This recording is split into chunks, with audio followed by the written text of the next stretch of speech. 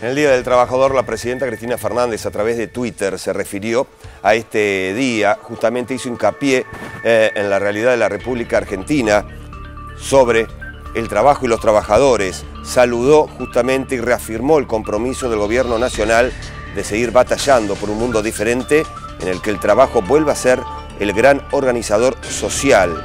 Así lo señaló esta mañana a través de Twitter la jefa de Estado. Escribió varios mensajes entre otros, deseó felicidades a todos y todas las trabajadores de la Argentina, de nuestra América del Sur y de todos los países que hoy conmemoran el Día del Trabajador. Destacó también que nuestro compromiso es seguir batallando por un mundo diferente.